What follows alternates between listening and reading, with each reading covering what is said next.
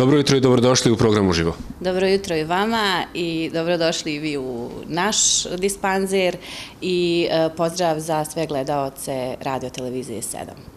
Evo, zahvaljujući jednoj donaciji, omogućeno je neinvazivno mjerenje povišene vrijednosti bilirubina kod novorođenčadi, pa da čujemo na početku koliko će to značiti i vama i malim pacijentima i kako je to bilo u stvari do sada.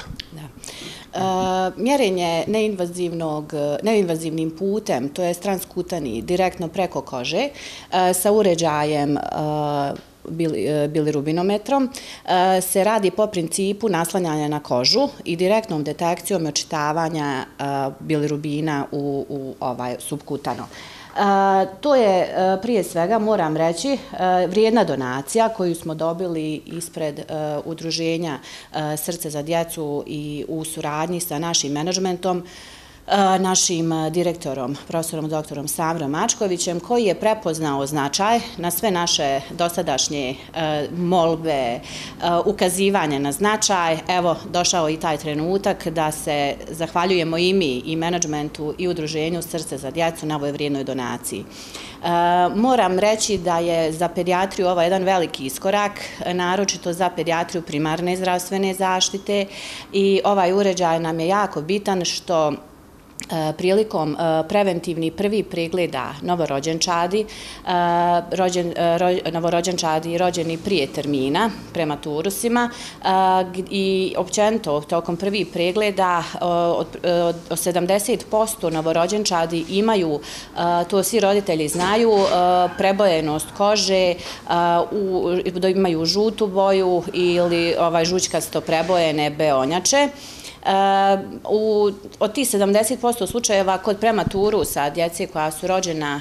prije vremena, taj procenat ide na 80 do 90%, koja su još e, imaju povećane vrijednosti bilirubina i žutilo kože još u porodilištu, koje se izbrine u najvećem broju slučajevu i, i ovaj, na nivou tercijernog nivoa zdravstvene zaštite, ali nakon otpusta kad dođu na nivou primarne zdravstvene zaštite, nama je ovaj uređaj jako bitan jer mi pratimo e, tokom prvi prvi pregleda novorođenčadi, te vrijednosti, da li one u stvari, iako dijete pokazuje klinički manifestne znake, pratimo fizikalnim pregledom da li ima i određeni klinički parametara koji mogu ukazati da se iza povećanog bilirubina kriju i neke određene potencijalne bolesti, fiziološke ili nefiziološke, nije bitno sad, ali ti parametri koje mi očitavamo sad samo jednim naslonjanjem aparata na, u grudnog koša i čeonoj regiji, brzim detekcijom vidimo kolike su te vrijednosti. U biti, te vrijednosti, iako su ovaj, registruju i da su visočije, nama je bitan uvijek da mi tokom naručivanja svaka tri dana pratimo te vrijednosti i da se one u odnosu na fizikalni nalaz djeteta, da je dobar, da je opšte stanje dobro, da djete nema parametara, znaka za infekciju, neuroloških parametara kod neuromotoričkog prigleda, novorođenčeta ili ostalo. Nama je bitno u sve to uz uspostavljanja israne koja je uspostavljena, koja je uveliko isfiltrira i to žutilo, to su fiziološke laktacijske žutice, e, znači kojih ima više vrsta, e, mi pratimo pad te vrijednosti bilirubina. Do sad je to bilo e, da smo radili upućivanjem novorođenčadi zbog praćenja na tri od prosjeku tri dana, padanje tih vrijednosti. Svali smo u laboratoriju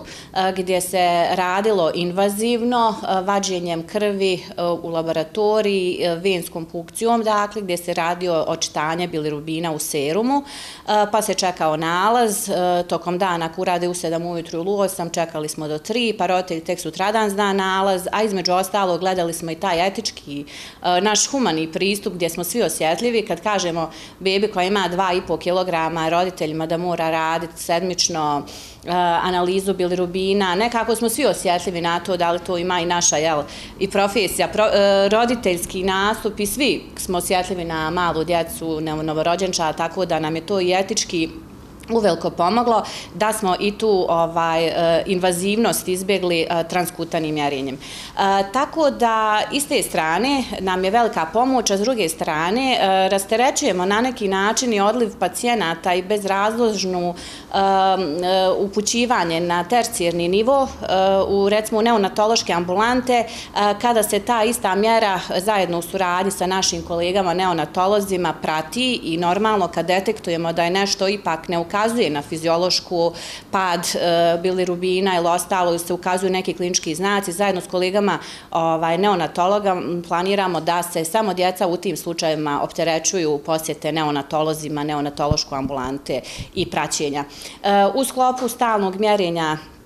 E, bili Rubina, gdje smo već startali, moram reći, donacija nam je došla prošle sedmice, ali mi smo e, već počeli i osjetili i mi, a i roditelji veliku tu blagodet. To je sreća na licu, zar vi to imate? Ovaj, pogotovo ako su s djetetom prije iskusili tu invazivnu, pa kad dođu nekako to bude sve, a s druge strane, ovaj, mm, s druge strane nam je uređaj u preventivnoj pedijatriji pomogao zato što je to kao jedna kod nas i brza screening e, pretraga, jer sva djeca su u početku malo žučkasto prebojena. Većini djece još u porodilištu je, nije data ni prva vakcina BCG i hepatitis koju dobivaju. Roditelji dođu na redovnu imunizaciju, i mi na osnovu uređaja bilirubinometra procijenimo kad uđu na prvu vakcinu, da li je to e, vrijednost bilirubina koja je, e, koja, e, na koju dijete može prim BCG vakcinu i hepatitis ili ne. Tako da nam je pomoglo i bezrazložno odgađanje redovne početne prve ovaj, vakcine koju nisu imali u porodilištu, više nije upitno. Ne pratimo klinički samo. S druge strane, e, činjenica da većina povećanih vrijednosti bilirubina e, bude u takvim e, vrijednostima da, da, da iza svega se većinom krije u nekih 90 do 95% slučajeva se da je to fiziološki. Fiziološki pad, nema kliničkih ispada, nema neke diagnoze koja se krije iza toga koja se mora dalje pratiti. Većinom bude razlog e, nezrelost gastrointestinalnog trakta, novorođenčadi, e, nezrelost funkcije eritrocita koji se ovaj razgrađuju u tom, u tom periodu e, i nezrelost funkcije jetre. I to je fiziološka i plus dojenačka takozvana laktacijska. Znači, preko 90% slučajeva budu ti ovaj, uzroci, ali mi zbog čega nam je još značajan u diagnostici, tokom redovnog screen programa, čisto iz tog razloga što iza povišenih vrijednosti bilirubina može da se krije hemolitička anemija, koja je dugotrajan hronični proces koji se observira od strane i hematologa i slično, mogu biti određeni metabolički i endokrinološki već u početku naznaka poremećaja s kojima će se dijete nositi u, ovaj, u, u nakladnim godinama jel, svog života i mogu biti polineuropatije, neuropatije znači kod, kod novorođenčeta koji se mogu manifestovati jednim ozbiljnim hroničnim oboljenjem Kerring-Terusom. I na koncu što mi najčešće detektujemo, može se biti neka novorođenačka neonatalna infekcija koja je mogla biti preznak ili je već izliječena sepsa, pa ovaj, e, koja preboji kožu žuto, ali zato se postoji sad neinvazivno mjerenje koje nam ubrzava kompletni taj proces. Da, zaista, dosta informacija ste e, nam kazali, e, dosta će koristiti posebno budućim ili mladim roditeljima. E, ovo je svakako e, dio široke lepeze preventivnih usluga eh, koje eh, roditelji i mališani mogu dobiti u dispanzeru ovdje? E, na, e, tako između ostalog sad smo pojačali za jednu diagnostičku preventivnu uslugu, a e, mi se redovno svakodnevno, to znaju roditelji koji dolazi još od prvog pregleda novorođenčeta, preventivna pediatrija je jedan ozbiljan temelj inače u pediatriji i trebalo bi u pravilu da se skoro dvije trećine usluga na nivou primarne primarne zdravstvene zaštite pediatri bavi isključivo preventivom, a samo jednu trećinu da se odvaja na usluge opšte zdravstvene zaštite, akutnih stanja i sl. E, mi tokom naših redovnih pregleda na e, preventivnom odjelu pediatri imamo široku lepezu, kao što ste naveli, a to je od prvog pregleda e, radi se metabolički screening zajedno u suradnji sa našom patronažnom službom Doma zdravlja Tuzla, e, gdje se već u kućnim uvjetima uradi metabolički skrining na hipotireozu i fenilketonuriju. E, radimo e, dakle, redovno praćenje tokom pediatrijskih pregleda, upućujemo roditelje, dajemo savjete gdje se javljaju na skrining pretrage za ultrazvuk kukova koji se radi u našoj ustanovi od strane ortopeda i gdje se radi skrining sluha novorođenčeta odnosno dobiju se upute gdje se tek u dobi od drugog do trećeg mjeseca u stvari završi te, ali se na vrijeme mora rezervisati termina, sve se to radi preko ove primarne pediatrije, gdje redovno pratimo i povratne informacije od strana kolega sa kliničkog centra, neonatologa koji su već započeli obradu određenih praćenja, ultrazvuka mozga, uh, ultrazvuka abdomena, urotrakta, novorođenčadi i ultrazvuka srca, kardiološki pregleda, sve to preko našeg zdravstvenog kartona ide, prati se i uh, ukazuje se roditeljima da slučajno nešto od daljih uh, preventivnih praćenja ovaj, slučajno izostavili, jer moramo sljedovati upute kolega. Znači, komplet se bavimo screeningom, dali se određene upute, screeninzi, praćenje, detekcije i ostalo ovaj, kontrole eh, poštuju. Izuzev toga, eh, pedijatrija pediatrija je uvijek vodila računa o eh, suplementaciji i redovnom vođenju usluga savjetodavnih na prevenciji, antirahitičnoj prevenciji, profilaksi sa D-vitaminom, to roditelji svi znaju, zajedno sa prevencijom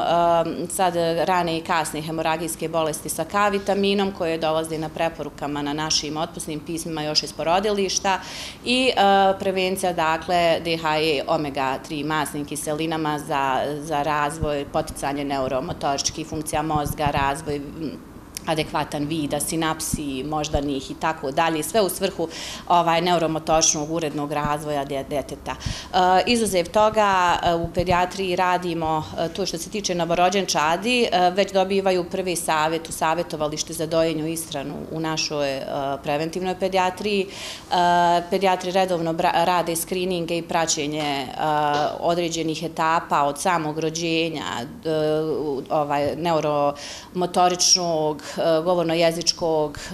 razvoja djeteta. Eh, moram reći da se parametri praćenja raste razvoja djeteta su se digli u ovoj preventivnoj pediatriji na takav nivo gdje se prilikom svake vakcine koja se tačno poklapa sa razvojnim etapama djeteta, roditelji dobiju detaljne upute kako posticati rani psihomotorni razvoj djeteta, govorno-jezičke poteškoće, Eh, rade se dakle i preventivni pregledi gdje su naprijed daju savjeti, evo, eh, mislim, ono, poticaj motorike, igre, socijalizacije, emocije, imitacije, govora, i slično gdje na vrijeme reagujemo i upućujemo u određenim stručnjacima koji se bave iz tih oblasti u programe rane intervencije ukoliko to zahtjeva, nekad se sveda i samo da se radi o savjetodavnim preporukama uposlenika naše ustanove, tako da redovno vodimo računa o screening pregledima vida djece tokom upisa u školu od pet godina, a već ima i naznaka da smo u suradnji sa projektom Federalnog ministarstva آه، pregledaj, progledaj i naša ustanova se, Dom zdravlja Tuzla i pediatrijska služba planira staviti, to smo danas dobili informaciju, u program e, preventivne i radne detekcije vidnih poremećaja kod djece već od četvrte i pete godine. Mi smo radili pri polazak u školu šestu, tako da za naš dispanzir to neće biti problem jer imamo obučen kadar koji paralelno e, koristi tablice procjene ovaj, vidne oštrine i ovaj, djeteta. Imamo naše oftalmologe, tifologe i slično, tako da se to sve se prati kroz zdravstveni karton. Mislim, to, to je samo jedan dijelić te lepeze, da ne kažem da radimo preventivne procjene, e, mišljenje za kategorizacije, mislim ono, operativni program i sve ostalo. Da, dosta, dosta tema, zaista, e, a ograničeni smo nažalost vremenom. Evo, volio bih se kratko dotaći još e, dvije teme. Malo čas ste spomenuli i vakcinaciju, ona je uvijek aktuelna. U posljednje vrijeme se spominje i vakcinacija protiv HPV-a. Evo, kako protiču ti procesi, neka kratka ocjena? Kako ste zadovoljni odgovornošću roditelja? Da? E, odgovornošću roditelja moram reći da smo i tu jedan veliki iskorak napravili, idemo uvijek korak naprijed. Što se tiče, e, tu nam pomažu, evo i sam ovaj, vaša posjeta i pitanje, iznošenja javnošću i, i, i, i jednostavno ukazivanje stalnog značaja tokom cijeli kalendarske godine ovaj, za redovnu imunizaciju djece. E, napravili smo program, znači e, redovni poziva djece, pa onda imamo i obavijesti putem kućnih poziva, e, redovne savjetodavne usluge koje radimo na preventivnom odjelu pedijatrije, ukazivanje na značaj, odgovaramo na upit roditelja. Znači jednostavno roditelji su počeli shvatati značaj, šta znači zbog te e, jako bitne preventivne usluge u pedijatriji, koja isto pripada preventivno, prevencija, e, to su stvari, pa vakcina je prevencija preventabilnih zarezni bolesti za koje postoji cijepivo. Ukupno dajemo sad deset cijepiva, ovaj, deset e, e komponenti koje se razvrstaju u periodu od rođenja do 14. godine. Pod nadzorom je pediatrijskog dispanzera našeg centru za vakcinaciju gdje, imamo, gdje vodimo evidencije u zdravstvenim kartonima i u našim kartonima za redovnu imunizaciju. Redovno postičemo stanovništvo, građanstvo na značaj. Moramo biti ponosni da je Tuzla jedna od prednačećih koja je i uprkos i COVID-u i u federacije, jedna od prednačajućih što se kaže odziva e, na naše pozive, na naše e, sugestije, na naše savjete roditeljima koji smo davali, e, pa čak i aktivacija preko kodova koji su dobivali na letku gdje smo mi bili iz dispanzira Centra za vakcinaciju, angažovanje od strane UNCEF-a, Federalnog ministarstva za poticaj roditelja, pa SMS poruka koji su dobivali.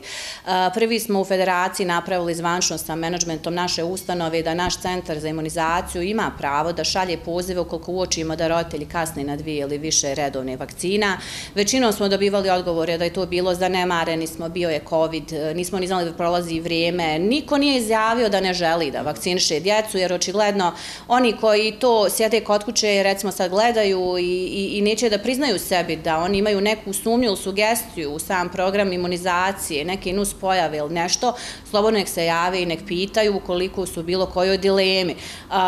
veliki je odziv, tako da proces imunizacije teče neometano.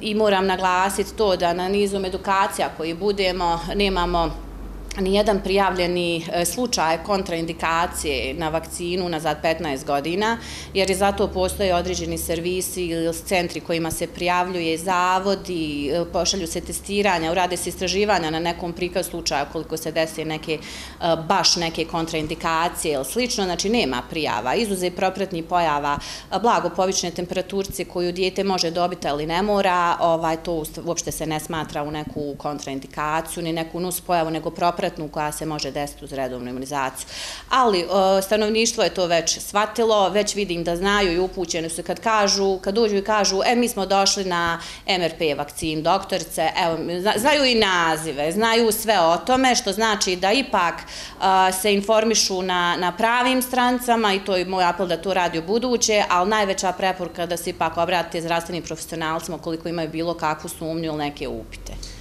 Evo, na kraju, e, na nekom smo prilazu sa ljeta na jesen, e, nagli su e, padi temperatura ujutru, popodne to bude toplije. Krenula je školska godina, veće djece u obdaništima i tako dalje. Da čujemo kakva je trenutna epidemiološka situacija na vašem odjelu, sa čim se to roditelji najčešće javljaju sa svojom djecom i naravno imali evo prijava koronavirusa. Prvo sad, koronavirusa nema, e, nije, prija, nije bilo prijava, zato što još uvijek, ako ga ima još uvijek u zraku, ima i njega u zraku, kao što ima i svih uzročnika za koje mi djecu vakcinišemo. Znači, da budemo jasni, uzročnika ima svugdje, zavisnosti od imunološkog stanja djece ili slično, desit će se bolest ili eventualno ako se primilo neka zašta, ukoliko postoje vid cepiva, bolest, iako se dobije, bude u blažem obliku. E, djeca su inače u proteklim E, godina, protekle dvije, tri godine, kad se dešavale epidemije sa pandemije ovaj, COVID-a, oni su imali, pre, e, pre, ako su bili u kontaktu ili bili kod pozitivni, e, nije bilo preporuka se djeca ni testiraju, ni nešto posebno, izuzev kućne izolacije zajedno s roditeljima, to su bile u stvari preporuke svjetske. Tako da su njihove kliničke slike bile uveliko blaže nego što se dešavale kod odrasli, što znači da je njihov imunitet u nekoj drugoj fazi ovaj, vjerovatno jači, ili slično, ima možda i utjecaja što su djeca već zaštićena redovnim vakcinama, pa se taj imunitet lančano diže, što se kaže. E, uglavnom, COVID-a još slučajeva nemamo prijavljenih. E, na našem, e, kažemo, bolesni odjel, e, opšta zdravstvena zašta djece, to su akutna stanja. Ovaj, u pediatriji e, nije ništa neobičajnije nego u, ja uvijek kažem, kad se radi neka emisija pa se pita kakva je trenutna situacija, evo sad kažem kraj septembra, oktobar, ulaz u dispanzir brojčano pacijenata isti kao i svi prihodnih godina. E, to je prosjek na bolesni odjel e, do 145-150, tako kako sam upratila, ulaza na bolesni odjel u terminu od 7 do 9 naveče i vikendima od 8 do 4 i subotu i nedelju. E,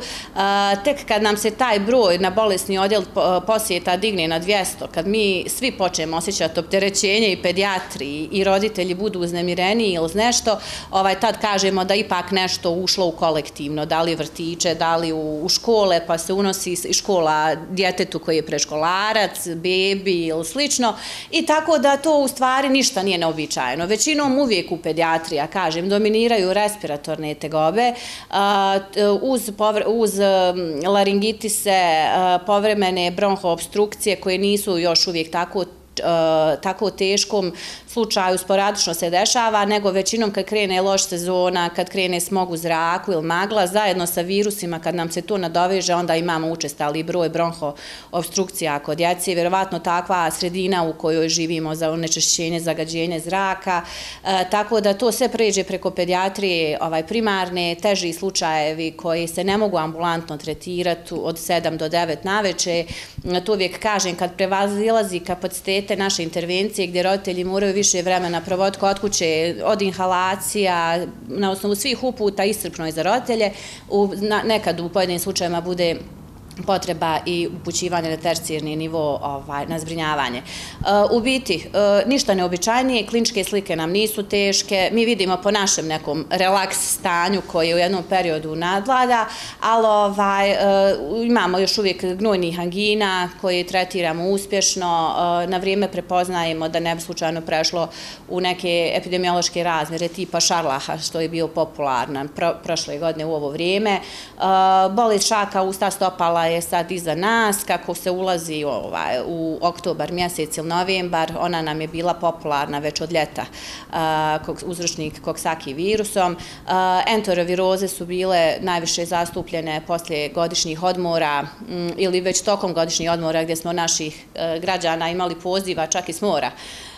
pedijatrijsku službu su, snalazili su se, znali su našu pedijatrijsku službu, kad imaju svu ovaj, putnu apoteku pa su nas konsultovali, svima dajemo, uvijek kažem, i tu mogućnost, neovisno gdje se nalaze, tu smo na raspolaganju, ali u biti ovaj, ništa neobičajnije kao i dostat. Hvala vam mnogo za izdvojeno vrijeme, ovaj uh, iscrpan izvještaj, mogu slobodno reći. Želimo vam što manje posla u narednom periodu. Hvala i vama na posjeti. Hvala. Poštovani gledalci i slušalci, razgovarali smo sa doktoricom Dijanom Dugonjiće, šeficom dispanzera za preškolsku djecu. E, čuli ste više o e, uređaju koji su dobili e, za mjerenje bilirubina, dakle nova preventivna usluga u ovom dispanzeru. Čuli ste kakva je epidemiološka situacija na ovom odjelu, ništa alarmantno, sve